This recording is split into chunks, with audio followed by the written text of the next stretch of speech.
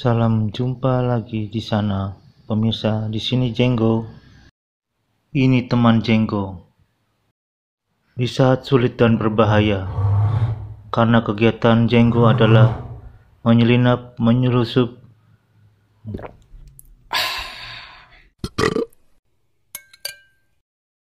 menyamar, menyadap, atau lain sebagainya yang sangat rahasia dan penting. Dengan tugas yang sangat senyap dan berbahaya, bahkan nyawa taruhannya.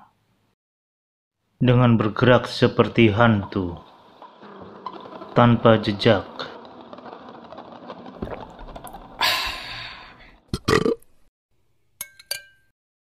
Tapi kenapa saya merinding ya? Apakah pemirsa lihat sesuatu?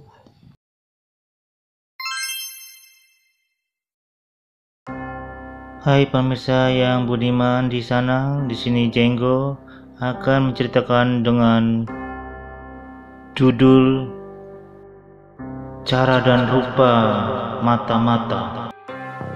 Secara singkatnya, mata-mata telah diawali pada abad ke-16 di Inggris, namun berkembang sejalan dengan waktu jadi benteng pertahanan, perlawanan atau penyerangan di suatu negara. Ada beberapa agen rahasia khusus yang sangat terkenal di dunia dengan terjangannya yang begitu menakutkan dan meyakinkan. Di antaranya adalah Mossad yang sangat hebat, terkenal di seluruh dunia, dan selalu memenangkan perang Israel di mana saja. Berikutnya adalah CIA milik Amerika yang berhasil memenangkan kekuatan perang syaraf antara blok barat dan timur. Selanjutnya adalah KGB, bekas agen rahasia Uni Soviet yang telah bubar dan beralih ke Dinas Rahasia Rusia yang dulu sangat ditakuti dengan kekejamannya.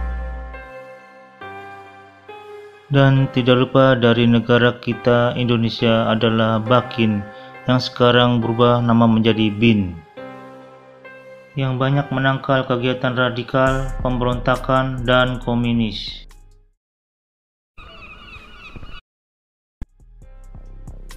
Kegiatan atau tugas dinas rahasia sangat sunyi dan senyap. Bahkan keluarganya pun tidak mengetahui hanya dia dan Tuhan yang paham.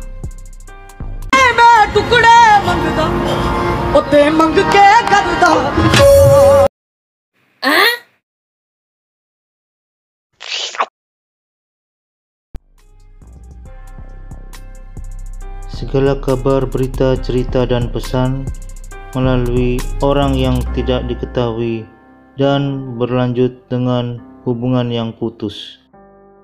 Penyadapan dengan berbagai cara selalu dilaksanakan. Dengan teknologi mutakhir atau perantara orang pertama, kedua, dan selanjutnya. Dengan pembinaan dan pelatihan khusus.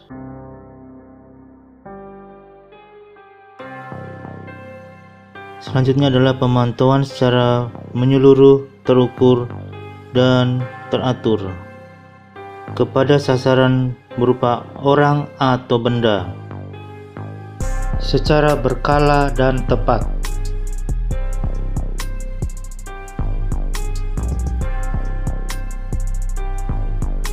Selanjutnya pemirsa, dinas rahasia tersebut akan menyamar berupa apa pun yang dia bisa pakai.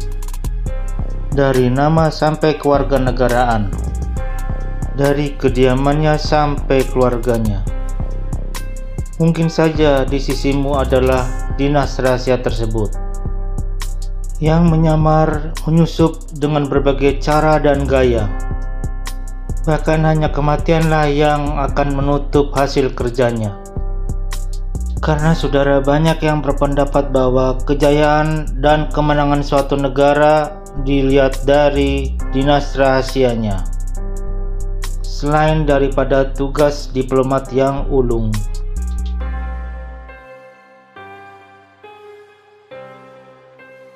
Di dunia ini ada beberapa agen rahasia atau dinas rahasia yang termasyur dan terkenal hingga sekarang dan menjadi cikal bakal dari ilmu dinas rahasia dunia.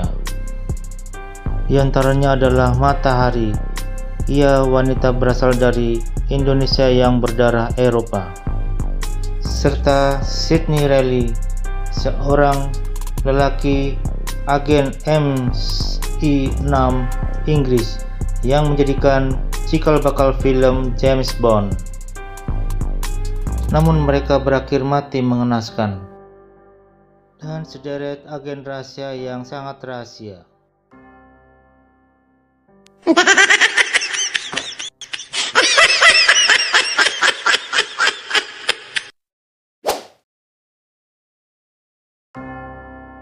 Pemirsa yang cantik dan ganteng atau yang belum, banyak cerita dan kisah tentang agen rahasia dunia. Dan dibukukan serta difilmkan terlaris di dunia.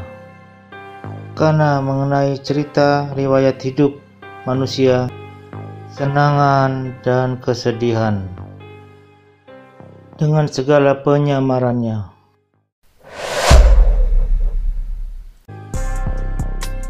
Pemirsa yang pintar dan yang belum pintar, setiap dinas rahasia mempunyai perbedaan tugasnya. Ada yang memantau tentang teknologi kemutakhiran mencuri data dan lain sebagainya.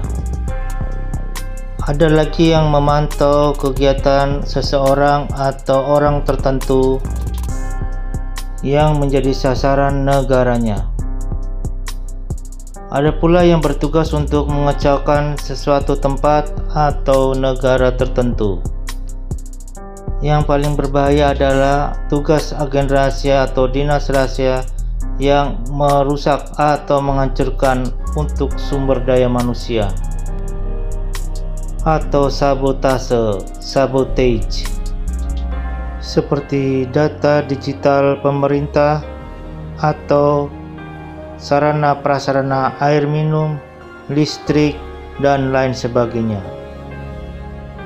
Serangan digital internet biasanya dikenal dengan nama serangan cyber yang sekarang marak terjadi di seluruh dunia bila terjadi perseteruan atau perselisihan atau bahkan peperangan antar negara.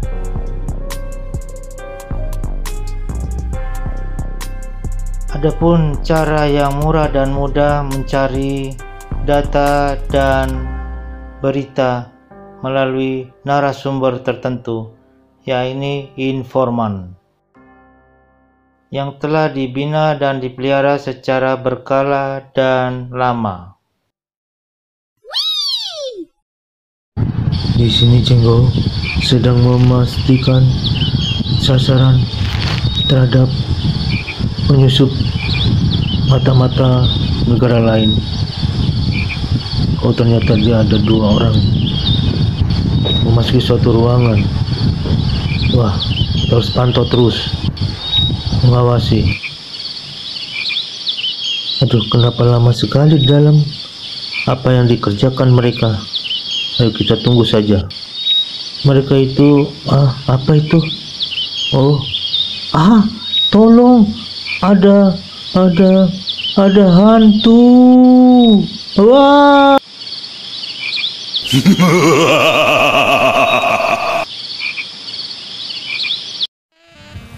Demikianlah tayangan kali ini. Semboyan Jenggo adalah masa lalu, masa kini, dan masa depan adalah kisah hidup.